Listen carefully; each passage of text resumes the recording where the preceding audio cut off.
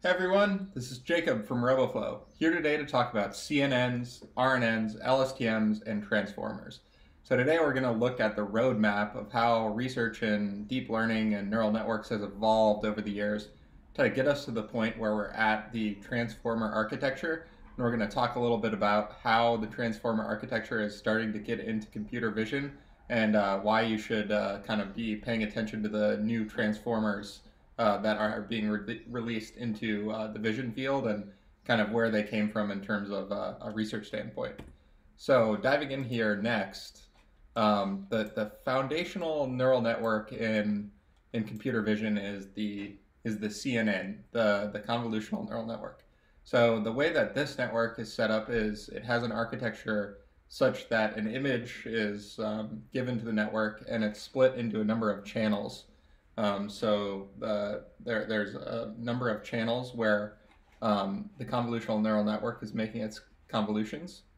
And at each stage, the convolutional neural network will be kind of compressing the resolution of the image. And you can form features from little patches of the image. So iterate over different boxes of the image, pooling these together and creating new features, and then passing that down to the next compression layer, kind of making the the um, the compressions even tighter. And then once you get to the kind of the final output channel of the CNN, then those are the ones that are then passed through to um, some sort of output layer, like maybe um, it's classification or something like that, where where you know you have a softmax at the end of the the CNN, um, and that was you know introduced as far back as the 1980s. Of course, we've started to see you know more impact of CNNs uh, just recently in the last 10 years or so. Um, but this concept has been around um, for, for many years. So now um, looking at uh, recurrent neural networks. Um, so these are another uh, neural network architecture that were was kind of more popular in NLP. So this is where you have a sequence um, going into the neural network like this, x1, x2, xt. And usually these are maybe like text tokens. Um, and each of those features are passed through to a hidden state, and the hidden state um, is passed through to the next hidden state along with the next x. Um, and that's kind of how you form the feature that's going to end up going through to your to your output layer.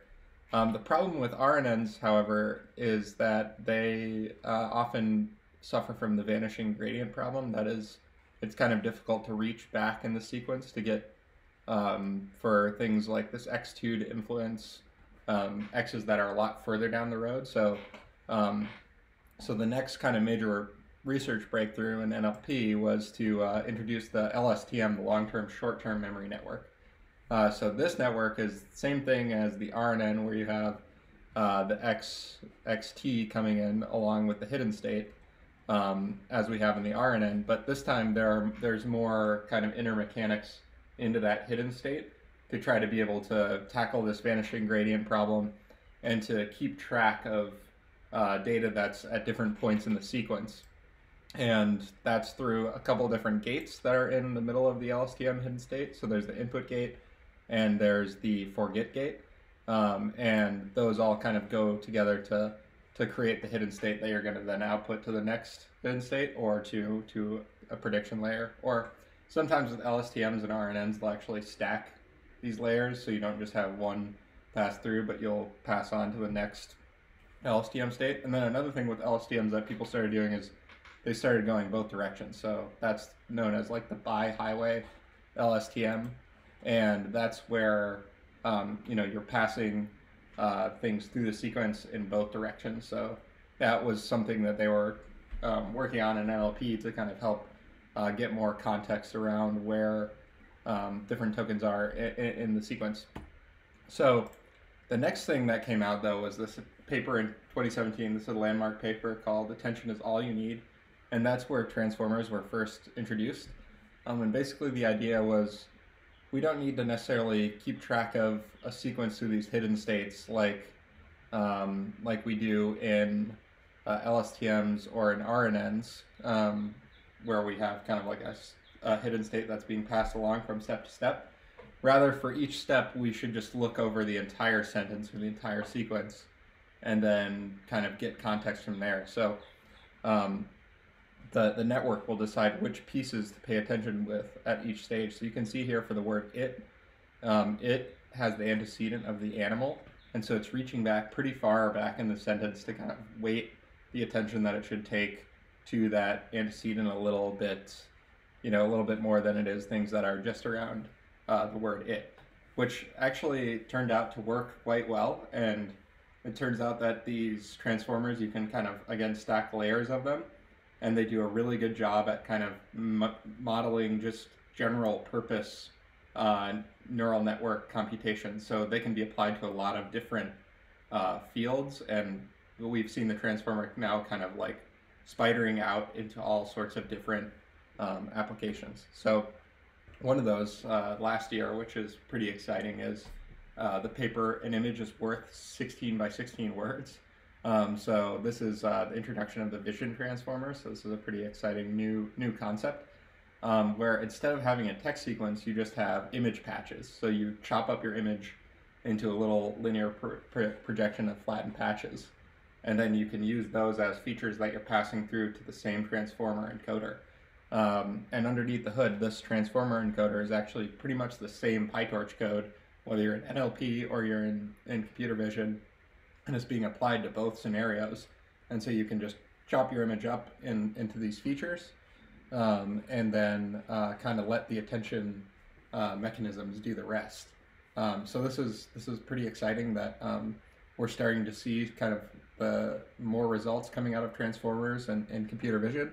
And before we wrap up for the day, I just wanted to talk about a few of these new um, techniques. So uh, there's sort of that I was talking about the same PyTorch code that is under the NLP and computer vision um, techniques. So that's um, this new concept, you know, that maybe uh, PyTorch is actually really just going to kind of coalesce on this transformer architecture.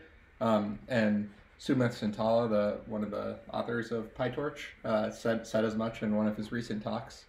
Um, and then uh, the other thing is this is being applied in image classification, object detection, and image generation. So certainly for image classification, we've already seen uh, the vision transformer perform better um, than other architecture um, for that, even better than CNN. So that's kind of a, a big thing uh, to be looking at as uh, these transformers keep coming into vision. And then the other thing that we've seen recently is OpenAI's CLIP model. So the CLIP model is um, a way to connect uh, text and images, and it uses a transformer on either side. So there's a transformer for text and there's a transformer for, for vision. And then these create um, features for like text features or for image features. And then you uh, can look at the similarity between the two of those. And the way that was trained was by um, kind of trying to guess based on a data set which image matched a given caption and which caption matched a given image. Um, and that's kind of a cool way to show how you can have two dueling transformers uh, coming together to create new uh, state-of-the-art technology. And if you read the paper on CLIP, you'll see that the modeling behind it is really not too too immense. It's um, you're kind of able to focus more on your data set, focus more on the data, and let the transformer figure out how to map uh, inputs to outputs. So hope you enjoyed watching this uh, RoboFlow research rundown here. If you want to see more content like this and keep track of uh, the pace of where things are moving in computer vision, please like and subscribe below. And um, always happy to have all of you, and we'll see you in the next video.